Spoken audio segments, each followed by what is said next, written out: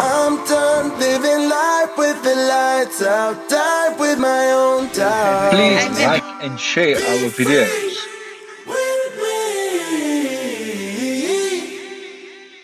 Let's go, let's be free. So after our close encounter of the elephant kind, the Fearless on Four Wheels team headed south to Maun, where we were gonna house it and do some repairs. So it's another damage report from the road. Ufudu has broken some leaf springs, one on each side.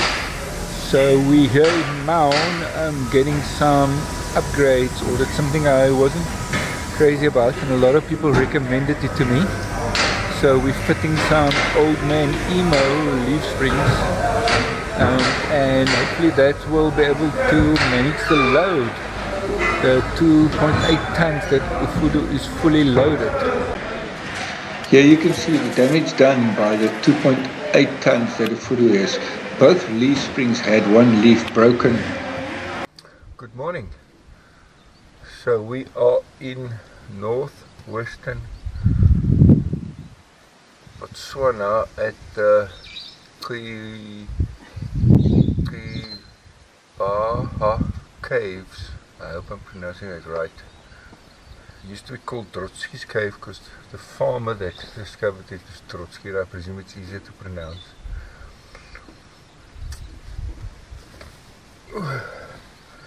Karine is actually up this morning, just after me. Quite a nice change uh, making coffee for her and thinking back about the last week or so where we've been house sitting in Maun. It was nice for four five days, but then I started getting cabin fever, wanted to get back on the road. And it was a great day yesterday. Driving here, getting back to traveling strange how quickly I got cabin fever. Four five days was enough for me. Did some video editing, washing and everything, but after that it was looking forward to driving again and heading somewhere new. So today Karine's gonna be exploring the caves. Brilliant campsites that they have here. Nobody around, big campsites, and we are the only people here. And you can see it's not being used a lot. So if you close to this area, it's well worth coming. Even just if you come to camp, quiet. Another glorious sunset last night. There you go. So the good thing about bats is that they're not supposed to fly into you. Yeah, yeah, They've got the radar system. definitely. After Karine explored the caves for hour two, we had some route planning to do as we were heading to our second country on our trip, Namibia, and we could not wait.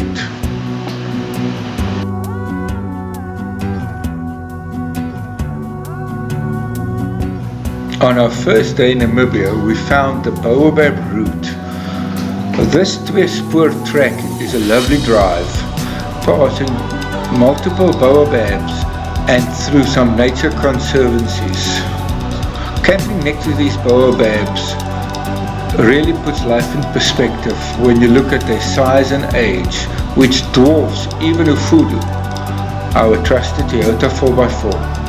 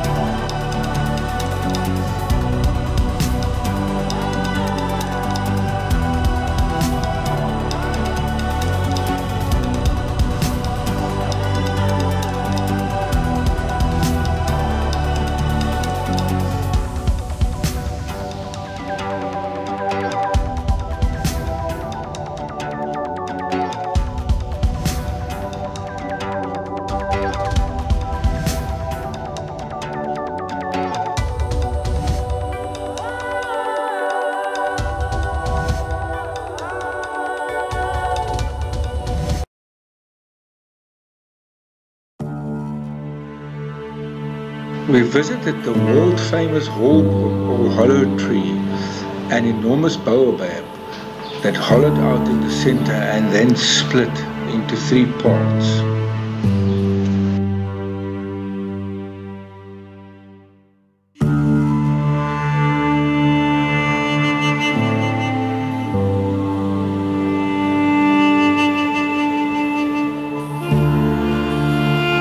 Also had the privilege of running into elephant herds on the way to a watering hole. These enormous animals following the same footpaths for millennia.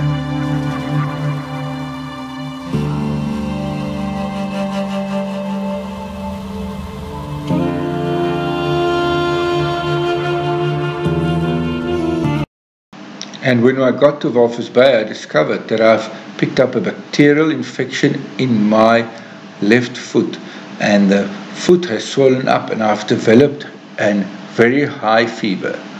Luckily, we were visiting our, my friend Bennett, and she kindly put us up while I recovered. While visiting Walvis Bay, we also had the privilege of visiting Rostock farm, Bennett's family's farm, where she is trying to establish a vulture sanctuary. The wide open spaces and the colors of the mountains took our breath away.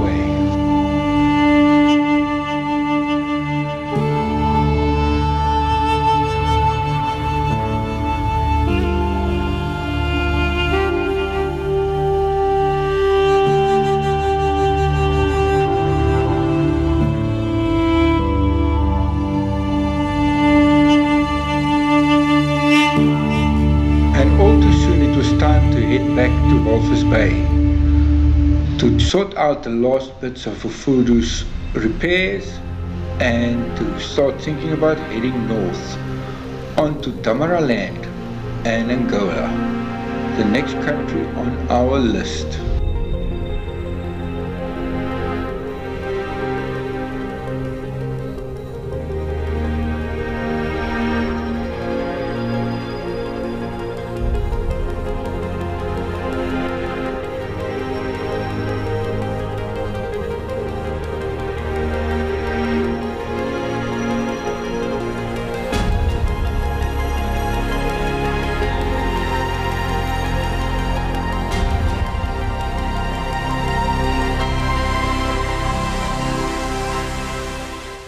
Okay, so it's been a week and a bit since my foot looked like a watermelon about to explode, and I am happy to report that um, after taking a course of antibiotics, um, my foot is slightly smaller. Um, it looks like half a watermelon now. Doctor has given me all clear. Said it will take a while. So although I can't wear shoes, so I can fit my foot into uh, at least into slots.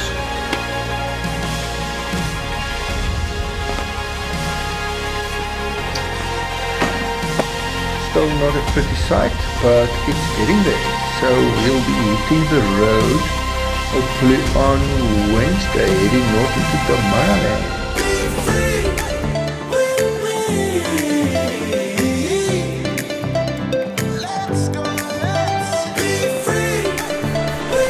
Please remember to hit that subscribe button.